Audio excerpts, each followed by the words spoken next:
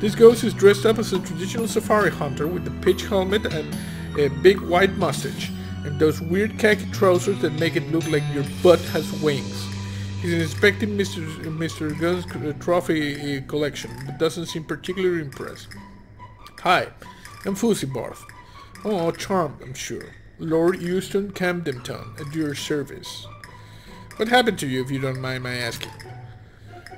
No, not at all. It's a very exciting story. What? was hunting lions on the plains of the Sparengeti, and one of the blighters got the better of me. Whoa, you were eaten by a lion? That sounds pretty exciting to me. Well, not not eaten as much. Sneaky buggers crept into my camp and pushed a stack of ammunition crates over me. Boom. Maybe I can help you. Help me do what? I'll help you with whatever's keeping you as a ghost. Though now that I say it, I guess there isn't much I can help I can do to help you get revenge on that lion. Ah, isn't revenge that's keeping me here good? Good for that lion, I say. Turnabout, it's fair play and all that. What? Though I do wish he'd done it in a manner that made for a better story. So why are you a ghost then? It's because of my one true regret. I never faced the most dangerous game. I am definitely not going to help you hunt people. What? No, no, no, the most dangerous board game. Nobody was willing to play against me. A ball sham. What? What's the game? It leads you over to a small table, which is laid board of alternated red and black squares, with little wooden discs painted red and black as well. Checkers? The checkers jump and scatter as the ghost stabs two large hunting knives into the center of the board. Knife checkers. Uh, what are the rules? Do you know how to play checkers? Yes. Do you know how to stab someone in the hand with a knife? Yes. That's all you need to know, really. Alright, I'll play. You yank one of the knives out of the board. Lord Euston instructs you to hold it left-handed. The rules are, you may only attack your opponent's hand and only when they are over the board. Display checkers uh, are, uh, displays checkers are played from where they land, but attacking the board directly is a foul, which awards the opponent a stab-free turn. It appears to be primarily a game of concentration, quick movement, and feinting. I'm going to play aggressively. You start out the game by uh, attacking quickly and fiercely to establish dominance and keep your opponent from developing his pieces. This strategy is somewhat effective, but Lord Euston doesn't scare easily and he managed to feint a few pieces past your guard. You enter the mid-game more or less evenly matched. We're gonna play intelligently, intelligently, intelligently. In the mid-game, you focus more on the checkers than on your knife work, maneuvering into position for some big gains on the long term. You suffer a few minor nicks and cuts, but are well positioned for the end. And we cannot play carefully with the Moxie, I'm gonna play straightforwardly. Nice try lad, but you have to put a better fight than two sizes man. Come back with these wounds have scared over, huh? You get an effect, angry, dang. Okay, we need Moxie. Uh, we're at 46 Moxie. And liver and spleen we have. We need some Moxie. No. No. Muscle. Mysticality. Moxie. I need I need a lot of Moxie. Uh, speed. Maximum HP. Increases your Moxie by 7. There we go. You get an effect. Hager's Agave. Panama. Okay, I think we can do this now. Okay, bruh. I'll play knife checkers. Play aggressively. Play intelligently. Play craftily. Okay, Lord Euston spots a hole in your defenses, he finds left, then quickly slides into the pieces into the gap and into your trap. This moves his hand into you just the position you needed to attack it with a hard Dawnborn stab. He easily janks his hand out of the way, and your knife hits one of the pieces in its edge, flipping it across the board to land neatly in his back rack. King. I say it's a foul to attack the board, sure, but I wasn't, was I? I attacked your hand, and you dodge, That's all. You sneaky blighter. Play continues, but with the king behind Lord Euston's lines, you clean up fairly quickly. Alright lad, I concede. Marvelous play. Haywood, well done. He gives you a smart salute and fades away into nothingness. We effectively destroyed the first ghost. Okay, I'm gonna get out of this place because it gave me the creep. Uh, okay.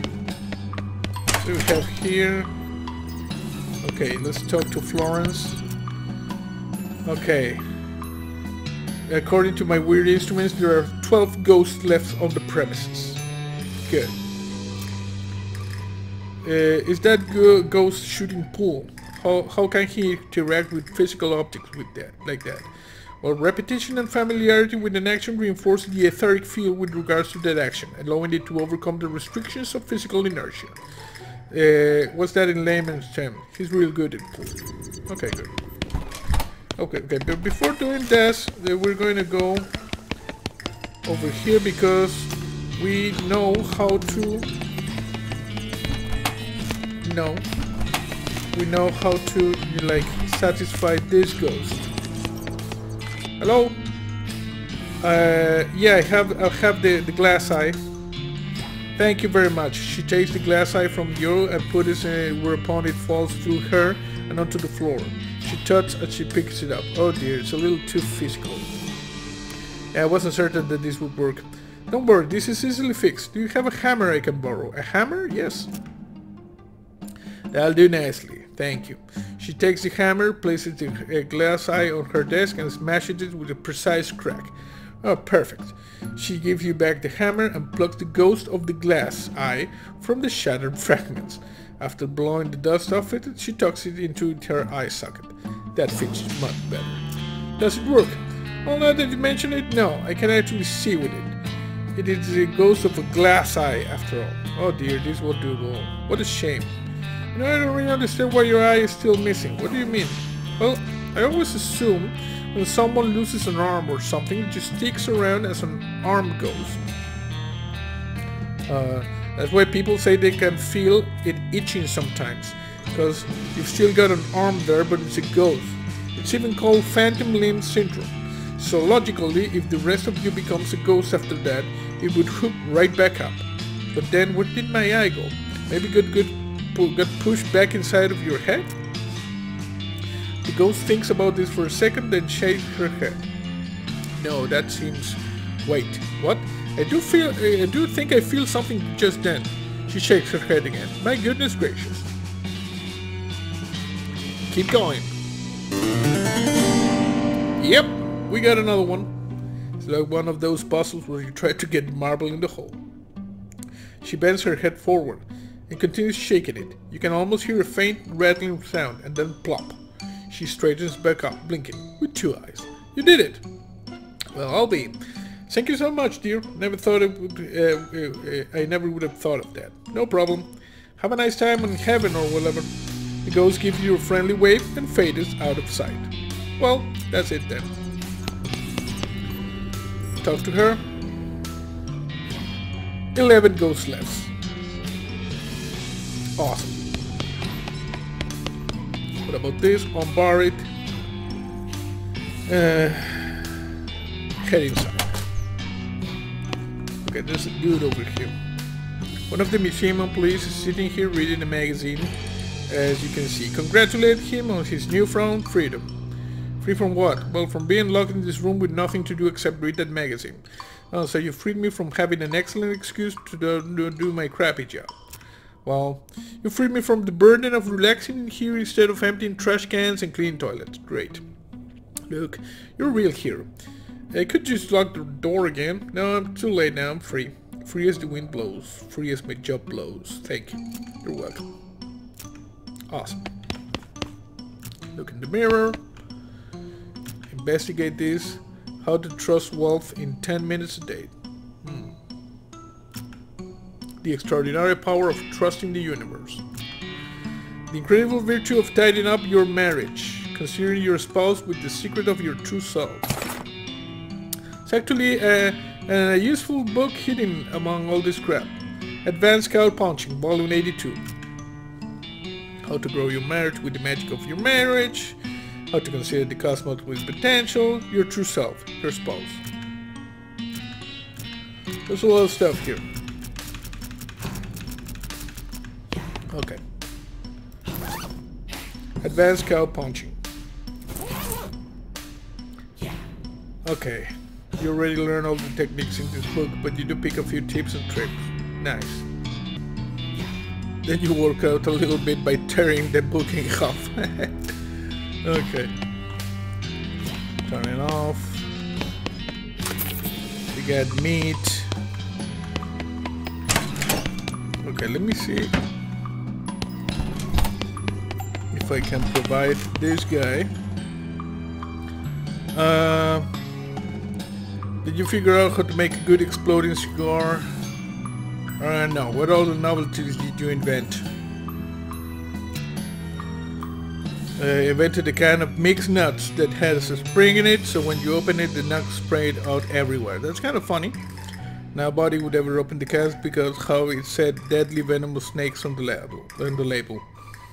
Anything else? You know those flowers you wear in your lapel and it sprays water in someone's face when they smell it? You invented that? That's a classic. No, I tried to combat it with the chewing gun made out of hot peppers. You invented a botanier that mazes people. Uh-huh. Anything else? Um, people seem to like those little sea monkey things, so I thought maybe I'd do that except funnier. And then I thought itching powder is pretty funny. Made itching powder out of brine shrimp. Now they're aquatic, it wouldn't work. I used spider eggs. Oh my god. I tried to make an ultra-realistic steam bomb using pure methane gas. Turns out pure methane is actually odorless. That isn't why farts smell bad. It's also extremely flammable. Hmm. You know those fortune-telling fish? The little cellophane things that curl up in your hands to predict the future? Sure. I don't know how it happened, but mine were 100 accurate, 100% accurate, and it was always terrible news. I tried to improve on the classic rubber chicken. Let me guess, not rubber? Good, good guess. Once I made some glasses that let you see through people's clothes. Whoa, right down to their skeletons. Okay, well that's still pretty cool, except for the part where they get cancer, yeah.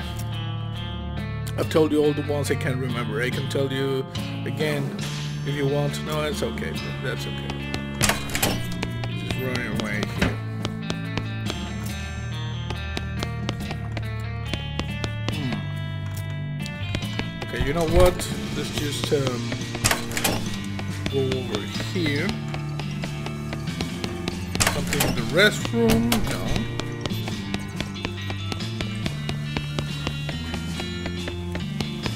Library. See something.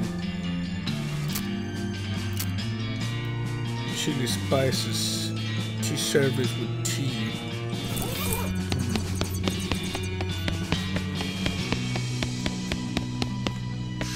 What is it that you needed? Uh, try. Oh, requires a gun law. Yeah. I'm just gonna walk stupid in this direction. Okay, so...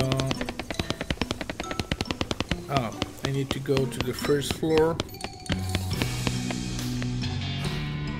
First floor. I want to see everybody over here. You see? We're just walking stupid.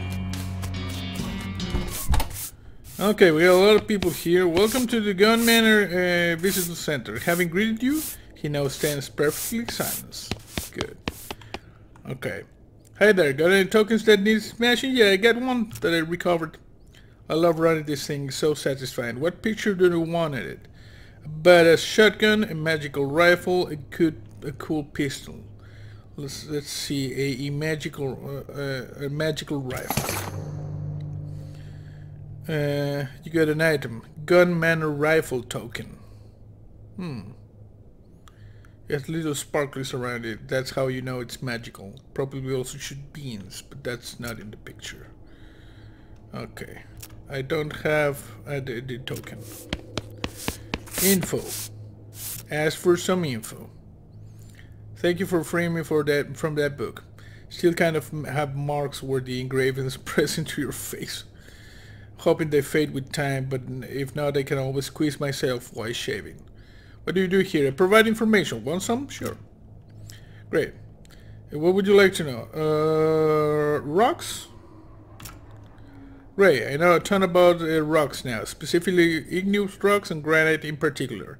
Did you know granite gravestones and memorials are considered as status symbols because the tools to carve and engrave such hard stone with speed and precision have only recently been invented. In fact, until about 15 years ago there was only one workshop in the world that produced them, run by the inventor Alexander McDonald, who also invented the Harzburger although that's proven less popular because Harzburgerite is not one of the edible kinds of igneous rock. Uh, okay, tell me another one. How about this? Igneous rocks are formed when magma cools and solidifies, which can happen either above or below the Earth's surface, or even in your own home. Neat. Tell me another one. How about this? Geologists call granite massive because it doesn't have any internal structure, and also because it comes in great big lumps. Weird. Tell me another one. Granite contains at least 25% quartz, which makes it useful as a resistance in all kind of magical devices. Nice. Hitting something with a rock was the very first human invention, and the second was swearing. Uh, granite is a natural source of radiation and can contain 10 to 20 parts per million of uranium, which is why you should fill your underwear with it despite the pleasant way... Oh, you shouldn't fill your underwear, underwear with it despite the pleasant weight. Hmm. The upper section of the Earth's crust is made of 94% igneous rock and 1% marzipan. Obsidian is a type of volcanic glass that if chipped properly can be so sharp it can cut a razor blade in half lengthwise. Uh, granite tablets uh, uh, tables are frequently used as bases for optical instruments because they are very stable and easy to see. Granite was an integral part of the architecture of many ancient societies, which is why the ruins of these buildings still exist today, unlike those of the ancient peoples who built their uh, all the structures out of cheese and wheat paste. Okay, I didn't know that. Bye. Snack, photos, souvenirs. Oh, look at this. The guy from the bar card is leaning heavily against a display of shot glasses with different names etched onto them. A sign on the display reads personalized shot glasses 1200 meet. The guy picks up a bottle stashed behind the displays and fills the shot glass label Bill. Is that your name, Bill? The guy squints at the shot glass. Sure. He knocks back the shot and tosses the glass over his shoulder before picking up and filling another one. Now it's Quint Wyatt. Weird. What about this guy? Oh, it's you, my hero and savior. Sorry. Parking validation. yeah, there wasn't much point in talking to this guy the last time. You know, there's not much point in doing it again. Mm -hmm. Uh, I wonder where I am supposed to go now. Let me see. Cellar. Your partner. Here. Is there anything I could do? Basement bench. You look over the tools in the bench. You could definitely make a silencer. Okay, I need uh, the cylinder. Mess with them.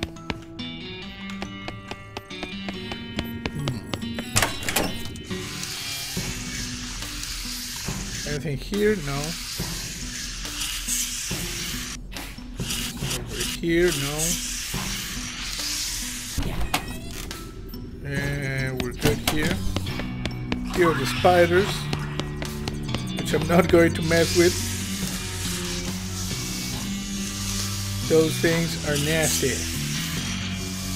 And we're just walking through stupid. parlor, cellar, kitchen. Oh. There's a guy here. Again. Oh, this is the guy who doesn't know how to poach the eggs. Room. The guy with the chili thing. I have something for the chili, but I don't know what else.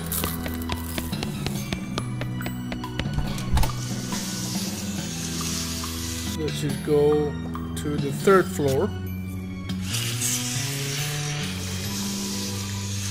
Gun. Okay, let's talk to this guy. Hey there, how's it going? I ain't interested in chit chat, fella. Just billiards. Step up, shut up. Challenge him to a game.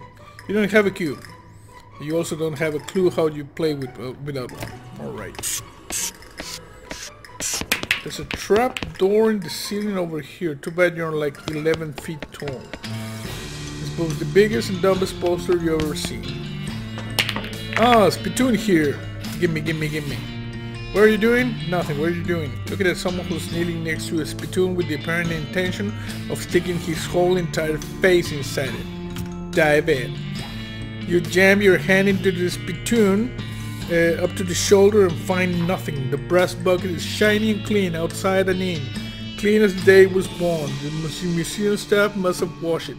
It looks brand new. Are you crying? No, I'm fine. You're crying. Okay, well, I'll just be over here whenever you're done lying on the ground in the fetal position and hugging a spittoon. Ugh. It's a rack of billiard cues. Grab one. Okay. Now we can we can play. You pull out your cue and the ghost nods and racks the balls. He utterly trounces you. You can just seem to make the balls where you go where you're intended. That was the saddest showing I've ever seen. Let me see that cue. Oh, that's your problem. This thing's about as straight as a, ha a banker's handshake. What? You're gonna need to lather this back to true if you want a chance against me. Okay, I know. We gotta go, we gotta go. Go to the first floor. Or lathe, I don't know how to pronounce that. But we're just gonna walk stupid. We're gonna come here. There we go. Come on, it's, it's here. There we go. We got a balanced billiards cue. We're just gonna walk stupid all the way back. Woohoo!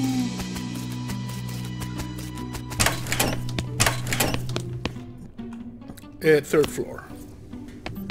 We're third floor. Here. We go up here. Now we go against the ghost. Challenge to a game. He proceeds to crush you. Something feels wrong, like your cue isn't connected with the ball properly. The ghost shakes his head at you. Totally new to this, ain't you? You gotta chalk your cue. Can I borrow yours? Mine's got chalk. Wouldn't work. Dang it. Uh, where I'm going to get like chalk?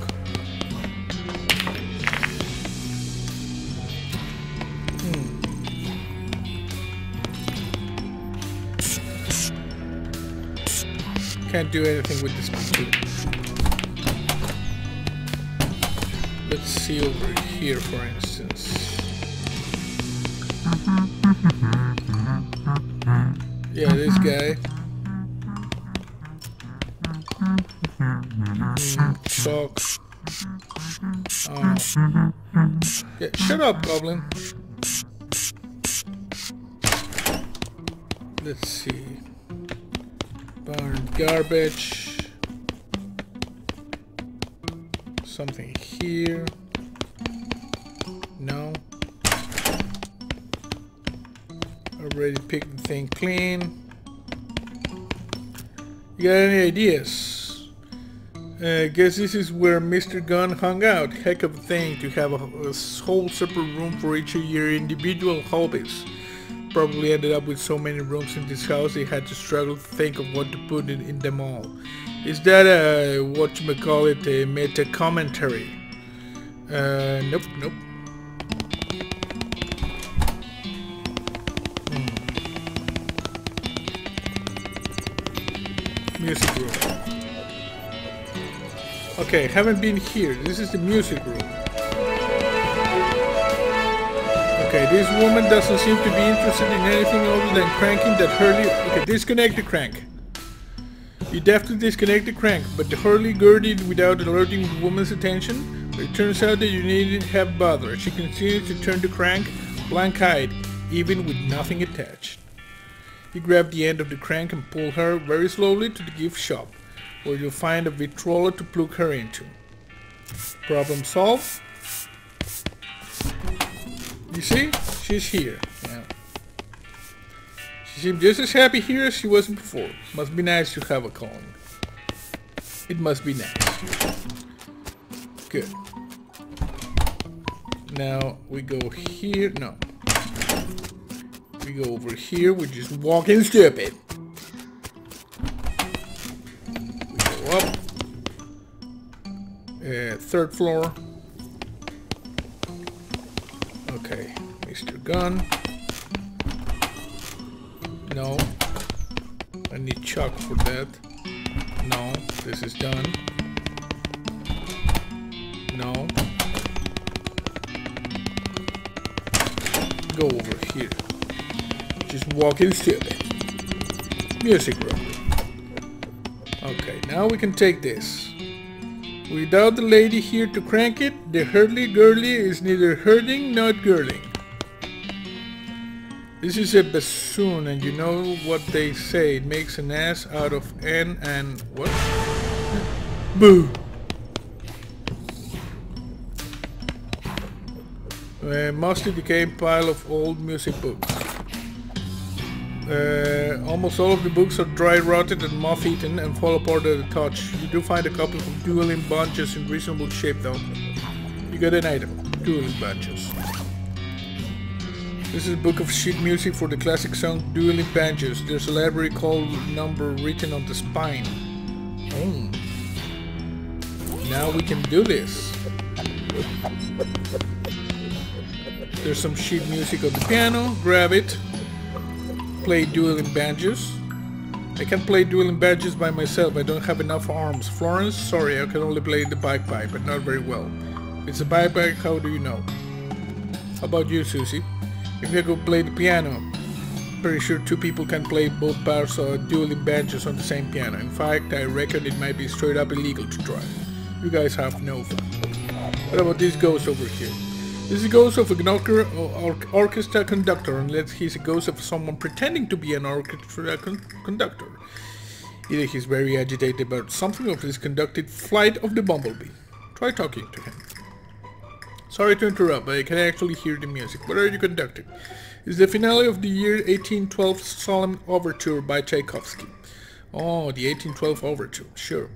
Would have been my second guess. Or is your orchestra like double ghost or something? But I see, no, there's no orchestra. I merely have this piece of music irrevocably lodged in my head. It has been nagging me at me incessantly ever since my test. Ask him about his death. Just a guess. Did you die during a performance of the 1812 Overture? That is correct, yes. Very astute of you. The finale of that piece featured real actual cannons, right? Is that how you died? Uh, uh, if it was my fate to be slain by a piece of music, cannons would have been far preferable to my utterly farcical demise. What happened? The overture requires several cannons because it is impossible to load a single cannon quickly enough to fire as the score demands. However, the stage we were performing on could not have borne the weight. What did you do? I was not informed of the difficulty until it was far too late to make any changes. It transpired that the stage manager decided it would be sufficient to give a box of bullets to the tuba player. He was shot by a tuba. I was shot, as you say, by a tuba. Whoa, no wonder you ended up a ghost. Oh, it isn't the ridiculousness of my death that troubles me really. Accidents happen, as with any of my of the performing arts. A colleague of mine was decapitated by an errant cymbal during a performance of Paganini's Violin Crescendo Number 1. Sure, such are the risks we take for our art. Gosh. The problem is that the 1812 Overture finale is a very dramatic and energetic piece, With this music constantly replaying itself in my head, I have been utterly unable to find any peace. I'll see if I can think of a way to help. And I know how to help. We just go over here. We'll go to the library now, which is, I understand, on the second floor.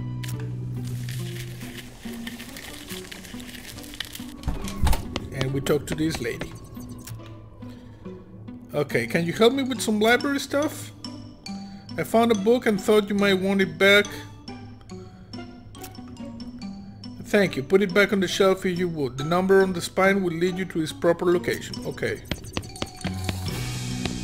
Okay, investigate. Oh, we got duel law. Interesting. Duly noted. We have no idea where to start.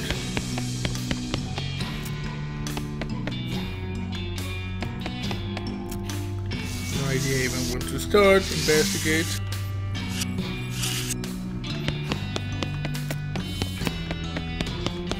Okay. I don't know if this is good. To her. I'm looking for a book on a specific topic. Um, okay, thanks. Okay. We got we got gun law.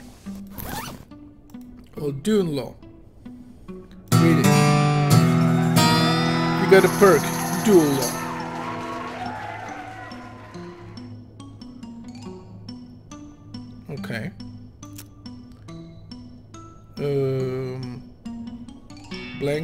Music.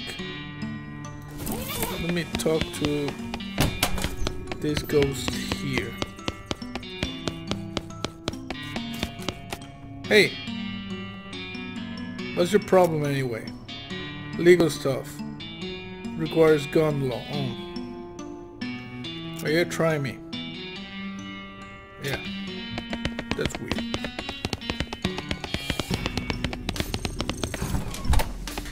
Okay, we got a bunch of ghosts, we got a bunch of people, but I think we've made a lot of significant progress in this recording session. So for now, I'm just gonna just like walk stupid over here for a while and um, I hope you enjoyed this video. That's it for now.